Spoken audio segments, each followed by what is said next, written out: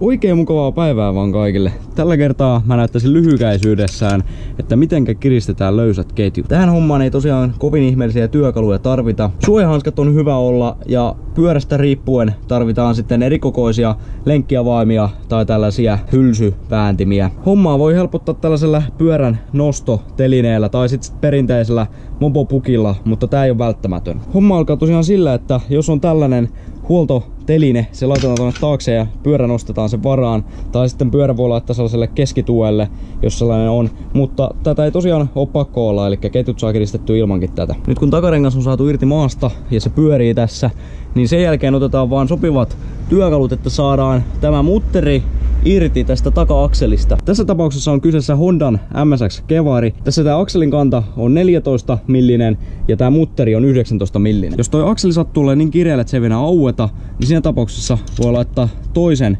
lenkkiavaimen näin jatkoksi ja sitten vääntää niin siihen saa pidemmän momenttivarren, niin se aukeaa paremmin. Löystetään vaan tätä päätymutteria sillä lailla, että toi selkeästi löystyy toi rengas. Sitä ei tarvii irti ottaa, mutta otetaan se noin löysälle. Seuraavaksi otetaan pyörään sopivat lenkkiavaimet, eli tuota tässä tapauksessa 10 ja 12 millinen. Täällä takaharukan sisällä on tämä ketjun kiristin, mistä lähtee tuo pultti, missä on nämä mutterit kiinni. Ja sitten kun me aletaan kiristämään tätä mutteria tähän pultin ympärille, niin se alkaa vetämään tätä kiristettä taaksepäin, jolloin akseli tulee taaksepäin ja se taas puolestaan kiristää ketjuja. Täytyy olla tässä hommassa tosi tarkkana, että kiristää tasaisesti molemmilta puolilta, että rengas ei ole sitten vinossa, koska muuten se on todella epämukava ajaa. Eli tasaisesti kiristää molemmilta puolilta ja yleensä näissä kiristimissä on tuommoiset merkit, mistä voi sitten katsoa, että se on molemmilta puolilta yhtä paljon. Ja sitten kun nämä on molemmat kiristelty jonkin verran, niin ketjun kuuluisi heiluu vielä vähän, koska sitten kun me kiristää akseli, niin sitten se jää siihen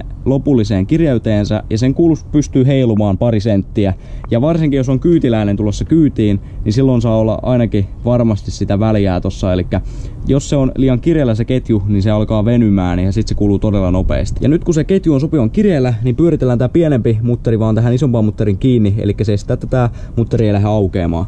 Ja sen jälkeen kiristetään vaan tämä taka-akseli. Taka-akselin saa laittaa käsin aika kireelle, että ei se nyt tosta vaan mene rikki, mutta ei sitä kannata nyt yhtään liikaakaan vääntää. Eli kyllä se sitten oppii, kun näitä alkaa kiristeleen, että koska, koska se on sopiva. Että ei saa jättää liian löysälle, koska muuten tuo mutteri tippuu, mutta ei saa toki laittaa liian kireelle. Sitten kun se akseli on kiinni, niin voidaan vielä testata, että se noin pari senttiä se ketju heiluu.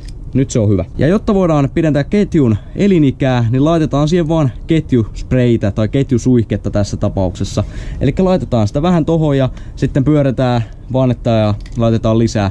Helpoiten on, että toisella kädellä pyörittää rengasta ja toisella laittaa tätä. Että tätä ei ihan mahdottomasti kannata ruiskiin, mutta kyllä tätä saa aika usein lisätä, varsinkin sateisen kelin jälkeen. Sateella lähtee ketjusta se rasva ja sitten jos niissä ei ole rasvaa, niin ne kuluu todella nopeasti. Ei sitä rasvaa kannata olla liikaakaan, että muun muassa sitä sitten lentää tuonne kateosiin.